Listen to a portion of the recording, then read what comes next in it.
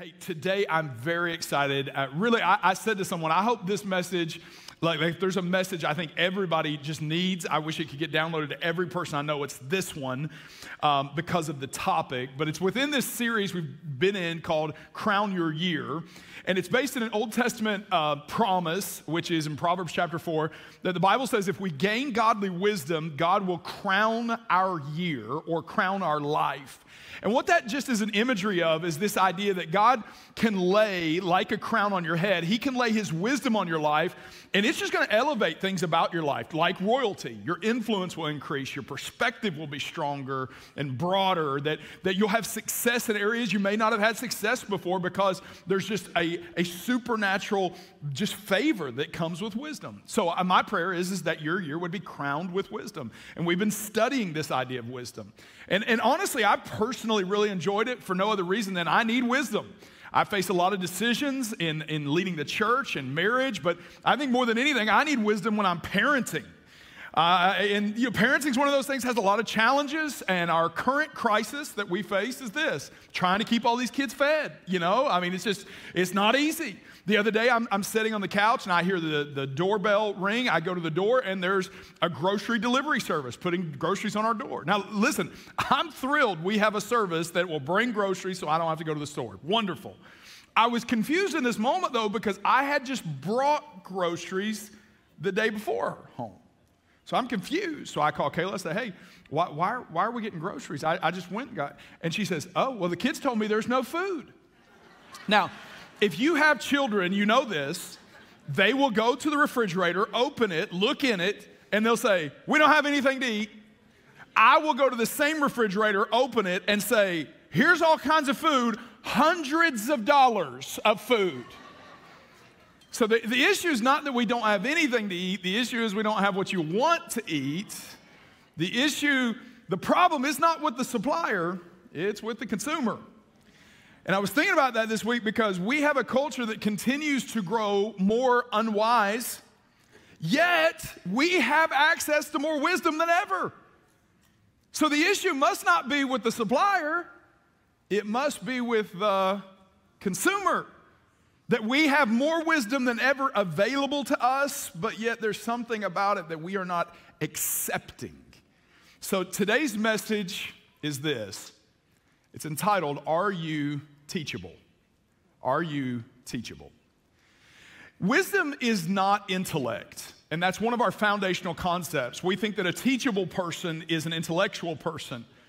But it's very clear to us that intellectual being intellectual does not mean being wise because there are many people who are intellectual that are not wise at all. As a matter of fact, um, academia, not exclusively, but can be filled with what I would call the most brilliant fools in the world. And you say, well, what do you mean? I'm talking about brilliant people who have discovered extraordinary things, but they're foolish in the fact that they can't even acknowledge the God who created the things they've discovered. It's this idea that they have intellect, but they lack wisdom. And, and, and, the reality for all of us is this is that wisdom is not just the pursuit of more knowledge, it's a dispensation in our hearts toward recognizing one God, but then also that He is the one who teaches us. Let me say it this way you're, you're going teachability is not just about your aptitude, it's an attitude. It's this reality of do I show up ready to receive from God? Am I in a position where I realize I need to receive from God? Do I see you as someone I can receive from this situation, even my mistakes? Do I live with a disposition of a learner? And I, I, bring that up because this is something we need, but it should be encouraging. If you're here today and you would say, you know what, I, I'm not a good decision maker, I don't have great instincts, and I have a track record of poor decisions, this is good news that you can grow to be a person of wisdom, that you don't have to get an Ivy League education or, or a graduate degree, nothing wrong with that. It's just you don't have to have that because that's not wisdom. Everyone can grow in wisdom, and everyone must grow in wisdom because we are not born as wise as we need to be. So, therefore, we need a teachable spirit. Everyone has to, to grow in wisdom. And I can prove it to you. Uh, the Gospels account for um, the life of Jesus Christ, but only the last three years of his life. He lived 33 years, but the majority of the verses are only about um, the last three years of his life. Matter of fact, there are only 10 verses that account for his life from age 12 to 30. Only 10 verses out of four major books. And those 10 verses are summarized in a single verse that says this is pretty much what he spent his, his 12 to 30 doing. It's Luke 2:52 and look at what it says. And Jesus grew in wisdom and stature and in favor with God and man. I mean, think about this. Out of everything the Holy Spirit could have included through his writers about the life of Jesus Christ for this stage of his life, they said the one thing we want you to know is he grew in wisdom. I mean, that's mind blowing. One, that it's reality to remind us that he came like us, so he had to grow in wisdom like we do. But it also tells us he grew in wisdom. Do you know what that means? It means Jesus was teachable that he showed up to conversations ready to glean, that he showed up to moments ready to learn. It just means that he had a, a disposition that was humble before people and the Lord to receive, and it's why he grew in wisdom. You see, it's also essential because um, it's God showing us that wisdom is so essential, and teachability is what precedes wisdom, that, um, that even Jesus had to, to experience it. And that's because teachability is what precedes all success. Uh, Proverbs 16 says it this way it says, How much better to get wisdom than gold, to get insight than silver? Now, when we read something like this, we have a tendency to put, you know, uh, the idea of gold in like jewelry, like it's an adornment, and it is. But when this was penned, this was not like, oh, gold is something fancy or nice to have. Gold was the most important commodity on the planet the highest of value. And then the guy throws silver on top of it. What he, he, there were people who would have lived in this time for centuries. Gold and silver were the standard for the epitome of success. And he's saying wisdom's better than that. And, and he's saying this to people who may never have even seen gold. And so what he's saying is, is that wisdom is equal to the very thing you think that can give you everything. Gold can give you wealth and notoriety and, and influence and opportunity. And, and as much as you would love to have gold, you should have wisdom more because it can give you what you want. I don't know what you want, but I know this wisdom can give it to you. Like, like for example, if you're here and, and you want a successful career, then you've got to have wisdom because wisdom will make you a good decision maker, and a good decision maker in an industry that's constantly changing is invaluable. Wisdom is essential if you want to raise your family because you're going to face, your children are going to face things you've never faced. And if you don't have wisdom, you're not going to help them navigate it. But if you do have wisdom, you're going to preserve your peace and their future. Wisdom is essential in all relationships. I mean, there's just too many different temperaments and personalities that if you don't have wisdom, you can't discern them and connect with them. But if you have wisdom, you can have influence and be celebrated in every room that you walk into. Teachability is what precedes all success because this is what wisdom is. Wisdom is God's mind and his motive on your situation. And when God knows someone will walk into a situation and think how he thinks and do what he would do for the reasons he would do it, he trusts that person. And if God can trust you, he'll give you anything. He'll give you wealth, he'll give you notoriety, he'll give you fame, he'll give you influence, he'll give you power. God can, for people who God says they have my heart and my head, I'll give them anything. But if you don't have wisdom, God can't trust you. And that may be why he can't give you the success that you've been pursuing. Additionally, though, teachability is what precedes all spiritual growth. Let, let, let me say it this way um, the people who followed Jesus in Scripture were called what? Disciples, right. Okay, um, the root word of disciple in the Greek is this learner. The most common title given to Jesus in the Gospels is teacher. By the most basic definition, you can't follow Christ if you're not teachable, because he's a teacher and disciples are learners. And this explains, by the way, why so many people have been Christians for years but are not different. Their character's not different, their pursuits are not different, their spiritual maturity is not grown. Here's why. Many people have been, you can be a, a, a, Christian for 15, 20, 30 years and be the exact same person you were when the journey started. On the other hand, though, I know people who've only been Christians three years and they walk with great spiritual authority and insight, and the difference is their teachability. Just because you wear a label doesn't mean that you are actually receiving anything.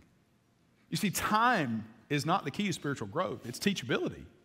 Can the Lord teach you anything? Can his leader teach you anything? Can other can his people teach you anything? And if you could be teachable, you can receive from him, but there's no growth outside of uh, being teachable. Now, here's what's amazing to me. If Jesus was teachable and teachability re- precedes all success and, and it's also required for all spiritual growth, why are we so unteachable? Why do we continue to make so many unwise choices despite having access to information? Here, one of the reasons uh, is, is this it's what explained in Isaiah 53 6. Let me show it to you. Here's why teachability is missing in so many lives. We all, like sheep, have gone astray. Each of us has turned to our own way, and the Lord laid on him the iniquity of us all. So let me explain this passage. This is a prophecy about the coming of Jesus Christ. And what was his coming, he was put on the cross, but what was put on him when he was on the cross was our sin and our iniquity. And what was that iniquity? Well, they just told us it's this rebellion in us that just wants to go our way. We want to go our way. We want to go God's way. I don't want to go your way. I don't want to go anybody else's way. I want to go my way.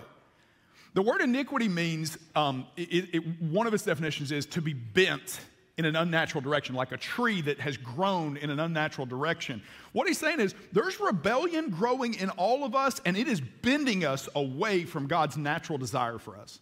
It's bending us away. We're going our own way, rebellious way, against others, against God's way. We don't, we don't want to listen to anyone else because there's an iniquity, a sin nature in us.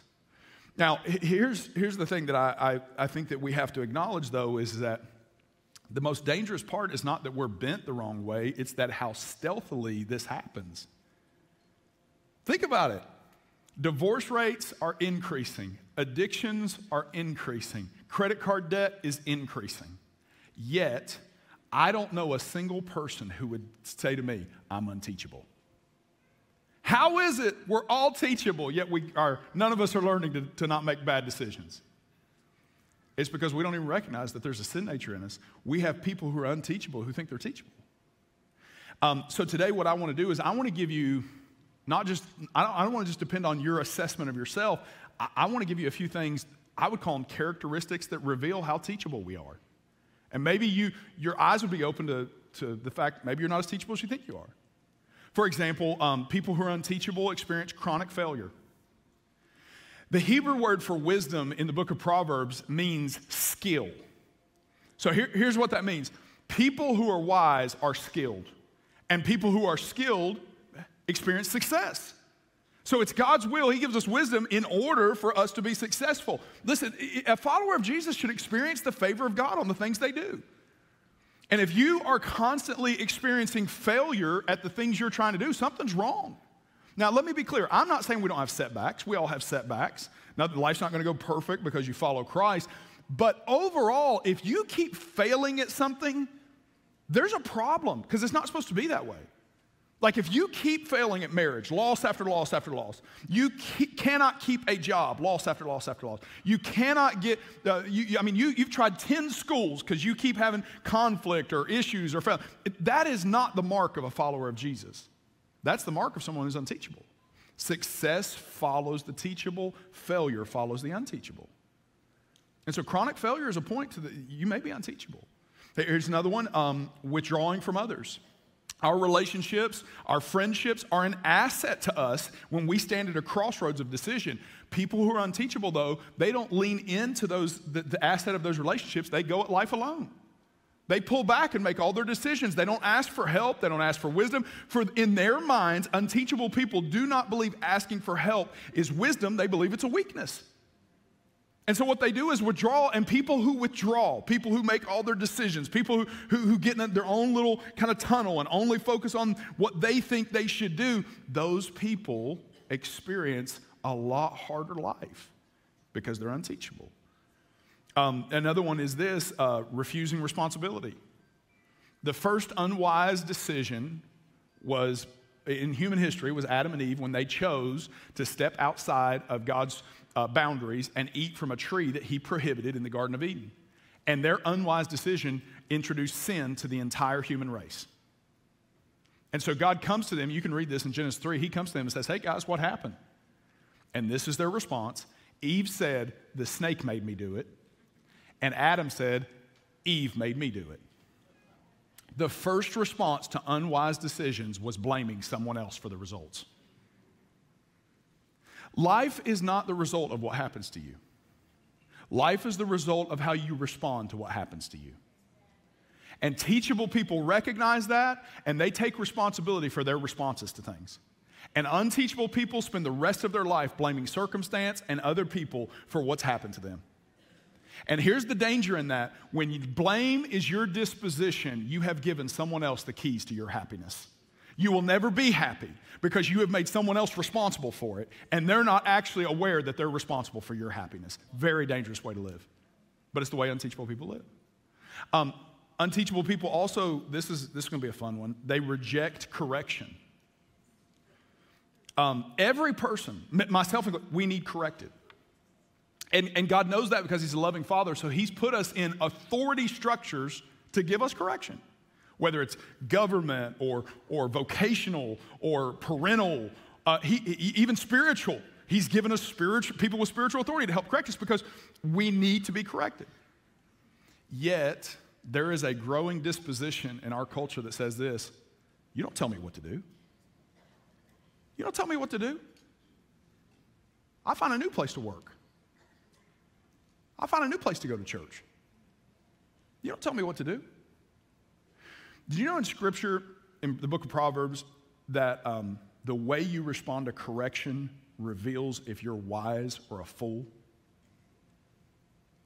And I, I really don't know how to say this any other way. If you are stubborn, obstinate, argumentative, and defensive with your spouse, with your, your parents, with your boss, with, with your pastor, with your life group leader, with, with all the people that God has placed in you, if that's what the Bible calls you a fool. And you, the reason I just bring that up is, is not for name calling, it's for this reason. Life's harder on fools. It's just harder. They end up enduring things they shouldn't have to endure. They end up um, suffering from things they shouldn't have to suffer from. It's just harder on fools. But yet the Bible says that when we reject correction, that's what we are. We're fools. Uh, a couple of years ago, I, I, really felt like God impressed upon my heart to join a coaching cohort that was being offered um, for people that are in ministry. And I was excited about it. I wanted to sharpen my skills. I wanted to get in there and, and you know, do things that would benefit us here. And so I, I, I was really excited until the end of the first session. And at the end of the first session, I thought, this is such a waste of time. And here's why because the material that was covered was stuff I already knew, and the, um, the people that were in the group, just being honest, they hadn't been doing this as long as I had, and many of them not to the scale that we're doing it. And I just sat there and I thought, oh my gosh, I, am quitting this. I, this is, this, is, I, this is not something I need to waste my time on. And I, I remember the next morning I was kind of praying about it, and, um, and I felt like the, the Lord said, nope, you're, you're going to stay in there. And so I did what you do when the Lord tells you to do something you don't want to do, is I thought I'd give him a better perspective. I said, well, God, I'm just going to be honest with you. Um, I already know all this. Not only do I not know it, God, I could teach this if I needed to. Like I, and before he could let me continue, I, so clear, here's what I heard him say. You're not there for the content, you're there because of the condition of your heart. Turns out I wasn't as teachable as I thought I was. And the Lord just showed me hey, there's some stuff in your heart you don't see that I want to address. And you're not there for what you're learning, you're there for what I'm exercising out of you. And so, you know what? I showed up every month, asked questions, and learned uh, the best I could because I saw it as not just getting intellectually stronger, I saw it as God exercising some stuff out of my heart that was there. Now, listen to me. I, I want you to hear me very clearly. Te- being teachable will never come natural to you. Never. Because you have a sin bent that bends towards its own way and away from God's way. And you need to recognize that and you need to attack it with the fact that you are going to intentionally put yourself in the posture of a student. You're going to knowingly foster humility. You are going to do things that fight against the bend and pull it back in God's will. And if you'll do that, you're going to become wise. And, and, and that's encouraging because the distance between you where, where you want to be and where you are is God's wisdom. But the determining factor of if you close that distance is your teachability. Because God can tell you anything, but if you can't receive it, then His wisdom cannot take effect in your life. So I'm actually today, here's what I'm gonna do I'm gonna give you three exercises that will work out the arrogance and obstinance and that's in all of us and let you know that you are pulling back against that sin nature to, to, to maybe restart or remain teachable. Here, here's the very first one um, strive for a heart of submission. Now, th- th- this is my least favorite point. And here's why because our culture is so anti submission. I mean, we're so anti submission, we cheer when we're not submissive. And that's infected all of our hearts. It just has. You know, I thought about this. I can't even find a good way we use the word submit in our language. Like, like think about it. Um, we submit our taxes to the IRS. A wrestler who's losing has to submit to his opponent. Kidnappers submit their demands. I can't even figure out a way to say the word submit in a positive notion. I don't even like it, it just tastes bad, even. And yet, the Bible calls us to live a life of submission. So there's something that, that the scriptures grasp about submission that we just don't get. And I think at one, it's what's at stake when we do not live submitted. A few years ago, I was preaching at a church uh, in Augusta, Georgia, and it was, it was great. Everything was good. But during that time, the pastor was incredibly nervous because his people didn't know. He had two missionaries, two people who'd went on a mission trip out of his church to the Sudan. And while they were there, um, civil war broke out. And he's just worried about getting these two, two ladies home. And um, so he's getting text updates and he's talking to, to people in the government. And um, what happened is, is that people started getting kidnapped, warring tribes began to, to, to have conflict. And so the U.S. sent out a dispatch that said, if you are in this country, stop whatever you are doing right now and get to the U.S. Embassy. Now, here's what you have to understand about a U.S. Embassy in another country it's not a building, it's U.S. soil in another country. For as big as that plot is, the embassy, that's not uh, a building the United States owns in Sudan. That's the U.S., that soil. And what the, here's what they were saying to those ladies drop whatever you're doing because if you want prote- protection, you need to get under a different jurisdiction. The reason unwise decisions are so destructive in your life is because when we do unwise things, we leave God's jurisdiction. And we enter back in to a world that does not reward God's wisdom and it brings destruction in our lives. And, and people who rebel against the authority structures God's put in their life, whether it's you know, their, their, their spouse, their, their parents, their boss, their, you know, any, any uh, teachers, whatever, coaches, any of that. When you rebel, what you don't realize is you're leaving God's authority structure and you've stepped out of his jurisdiction and he doesn't protect you when you're not in his jurisdiction. And, and here, I'm going to take it a step further. Not only do you step outside of his protection, you actually become his opponent. Say, what? When you pray, when, when you do not pray about things you purchase, about career moves you make, about responses in conflict, about who you date, about where you go to school, what you're saying is, God, I got this. And you know what? That's called, in heaven, you know what that registers as? Pride. Okay? Now, here's the thing you don't recognize about pride pride on earth sounds an alarm for war in heaven. I'll show it to you. James 4 6.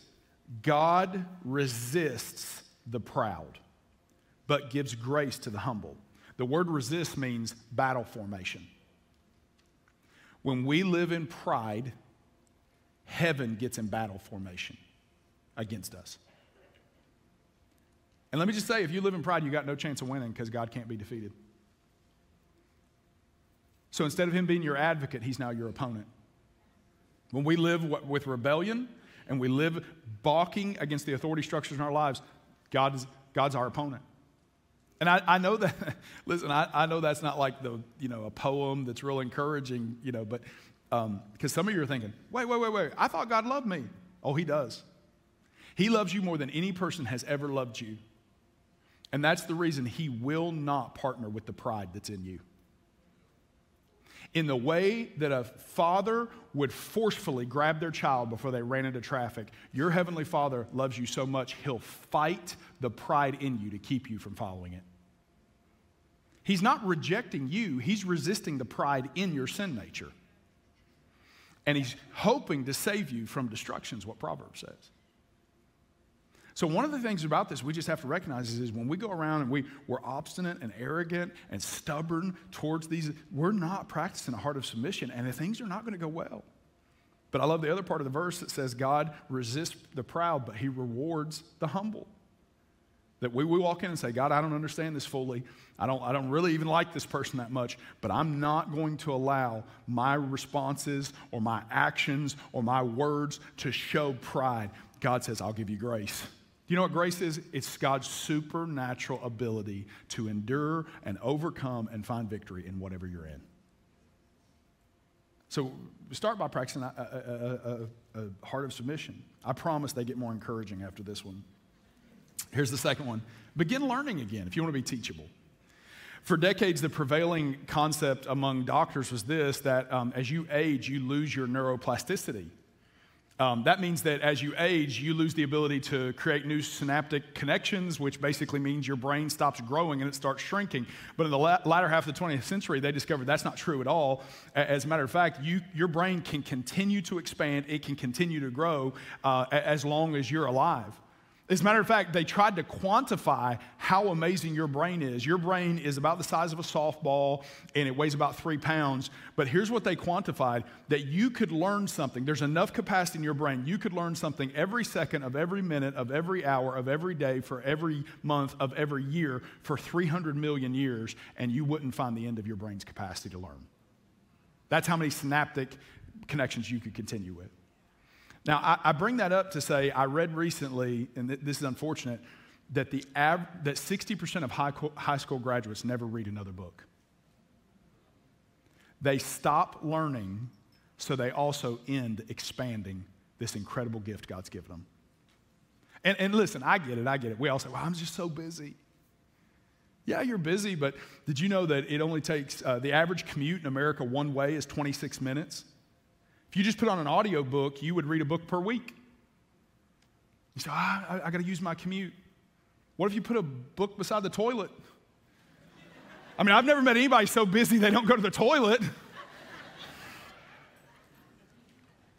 this, is why Proverbs uh, 1 5 says, The wise will hear and increase their learning. And the person of under, will, the person of understanding will acquire wise counsel and skill, and that's going to steer the course of them wisely and lead others to truth. I, I, want you to think of it this way not, learn, not learning as a, just this responsibility or just this thing you have to do. Here's the way I want you to think of learning learning is loving God. If you take the great commandment, love the Lord God with all your heart, mind, soul, and strength. If you take that literally, God says 25% of the way you worship me is with your mind. And, and, and I can kind of prove it to you. Um, there's a guy named Al Seckel who is a visual perception expert. He did a study, and um, he showed some adults a picture of a older couple embracing kind of an intimate way and said, what is this? And they said, well, that's an older couple embracing in an intimate way. I said, yeah, absolutely. He showed the same picture to a group of children and they said that picture is of nine dolphins. You say, well, but it's not. It's a picture of this couple intimately embracing. How, how do they see nine dolphins? Here's what the study determined is that everything we perceive is only out of an experience or an education we've already received. So adults recognize this as a couple embracing because they have learned, seen, or experienced couples embracing. Children did not recognize that because they had never experienced it or been educated to it. Let me say it this way you don't see it until you know it. Now, take that into consideration when you learn. You are expanding your knowledge of God. All He's created and all He's done, but when you don't learn, you are lessening what you can see that God has done. Our learning is not so we can acquire knowledge, it's so that we can appreciate the greatness of God. of what he's done and offered and expanded. Think of it this way if you or I were to stand and look into a night sky, we would go, That's beautiful. If an astronomer was to look into the constellations, he would have a much greater, ex, a, a much greater uh, um, uh, appreciation for what he sees because to see more, you have to know more. All truth's God's truth. I mean, the scripture stands above all other truth, but here's the reality mathematics are God's mathematics. Literature is God's literature. Art is God's art. It all comes from Him. Therefore, when we take it in, we widen, expand, make larger our room to appreciate Him. And when we don't learn, we never see His greatness expand in our own lives. So start learning again. Now, here's the last one uh, become addicted to asking for help. Um, did you, I don't know if you know this, children ask 125 questions a day. I knew this. I knew this. Um, adults, six questions a day. Somewhere along the line, we've lost 119 questions. No wonder we're losing so much wisdom. Here's what Proverbs 19:20 says, "Get all the advice, all the advice and instruction you can, so you'll be the rise the rest of your life." Here's what I've noticed about wise people first. Wise people ask more questions than they talk. Uh, pretty much everybody, when they walk in a room, I think this is commonly understood. When two people walk in a room, there are two, only really two different responses. The first person says, Here I am, and they talk about themselves. The other person walks in the room and goes, There you are. And they, they make you the star. Be the latter person if you want to grow in wisdom. Learn to ask more questions than you tell about your own experiences. And here's why you've never met a person who doesn't have something significant to offer to you. Every single person you've ever come in contact with, despite their title or, or, or, income level or, or where they're from, they're a miracle with life lessons and a gift of God. And if you learn to ask them questions, you draw on that for your own life. People who talk nonstop about themselves only learn about themselves. People who draw on the experience of others, those are the people who become wise. Here's the second thing I've noticed wise people ask for correction. Um, l- let me tell you something you may not know, but everyone, including me, has blind spots. You say, Well, I knew that. Yeah, what you didn't know is we all know what yours is. You say, You know what mine is? Yeah. Well, why haven't you told me? Because you haven't asked me to. People are fine to let you remain blind until you give them permission to offer value to your life. Here's what I've noticed uh, most people balk at correction Growing people receive correction, wise people ask for it. So I want, I want you to consider are you like most people that you balk at correction? Are you growing where you go, oh, I don't like it, but I receive it? Or are you wise where you walk in and go, hey, if you see something, you see something the way I talk, the way I act, the way I do, the decision I'm making, you see something I can do better, you let me know. Are you a wise person? And then this is the one I really want you to get. Wise people ask God about everything. Look at this verse. This is a common verse, but I think it's misread sometimes. John 16, 13. This is Jesus talking about the role of the Holy Spirit in your life. Look at this. However, when He, the Spirit of truth, has come, He will guide you into, will you help me with that phrase? All truth. For he will not speak of his own authority, but whatever he hears, he will speak, and he will tell you of things to come. I'm no Greek scholar. I'm going to be upfront about that. But I think all means all. Do you know what that, the implications of that are? It means God knows as much about astrophysics as he does mercy. That he knows as much about financial markets as he does forgiveness. And it's unfortunate because many of us only approach God on spiritual matters and we never tap into the fact he has all truth. That you can ask him about anything. God, do you think I should buy this house? God, should I go on that date? Is he marriage material? How should I respond to that email? God, what will help me get access to my kid's heart? Lord, should I buy this car? Should I go to school there? What do you think about this position? God, is it time to retire? Lord, how can I reach him again? God, can you teach me how to apologize? God, will you help me understand? I, I really don't understand this class. All truth means all. Um, so, life group season's coming up. One of our most popular, most popular life groups is marriage groups. And let me just say, if you're not in a life group, I just, geez, you make unwise decisions. Um, one of our most popular groups are marriage groups, which is it just makes I mean it's just so wise. But um, one of the most popular curriculums within our marriage groups is um, by a guy who, who, whose name is Jimmy Evans. Uh, love Pastor Jimmy Evans and his teaching. He's just I, I mean one of the foremost on marriage. And when you see how many curriculums he's produced on marriage, you start to go, well, this guy I mean, this guy knows marriage. This guy's brilliant. He must be, he just must have been like the best husband ever, and he's teaching the rest of us how to just catch up. But if you listen almost to anything he says, he's going to tell you the story. He's going to say, um, I was the worst husband possible. He cheated on his uh, soon to be wife a few weeks before they're married. They still got married. And then he said, for the next two years, I was the most chauvinistic, harsh, degrading, and inattentive husband that could exist. And he says, he says, I literally destroyed the soul of my wife. She endured it for two years. She came to the end of that two years, and she said, Jimmy, I can't do this anymore. I want a divorce. And something about that really wrecked him, and he went into the other room. And this is what he said. He said, I went into the other room, and I, I broke down, and I said, God, I don't know how to be a husband. Will you teach me? And he says, in that moment, all of a sudden, it's like, blinders came off his eyes. He said, I'd never seen it before. And all of a sudden, I saw all the dumb things I was doing. I saw how my words were affecting her. I saw how my decisions, I saw how selfish. He said, I thought I was, she was just rebellious. And he said, and all of a sudden I realized I was neglectful. He said, I just totally saw different. He said, it's so, he said, I didn't know if my marriage would make it, but I thought, thank God I see it now. Maybe in the next marriage. He said he got up the next morning. He said, it worked once. I'm going to pray it again. He said, God, I don't know how to be a husband. Will you teach me how to be a husband? And he followed that day and he said, I started praying it every single day. And slowly, God put our marriage back together and he made me into the husband that his wife, Karen, needed. Today, Jimmy and Karen Evans lead the world's largest marriage ministry. Millions of marriages have been healed. Millions.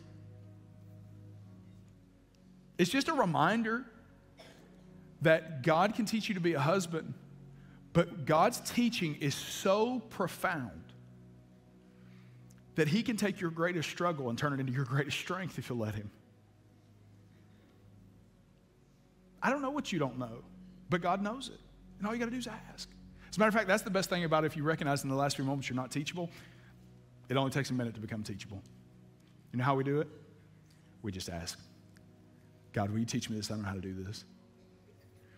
People who are teachable receive God's wisdom. And people who receive wisdom, their lives are never the same. The difference between where you are right now in the end of this year and the results you want is how much wisdom you can receive. And the determining factor on how much wisdom you're going to receive is how teachable of a heart you have. I want you to stand at your feet. I want to pray for you before we go back into worship.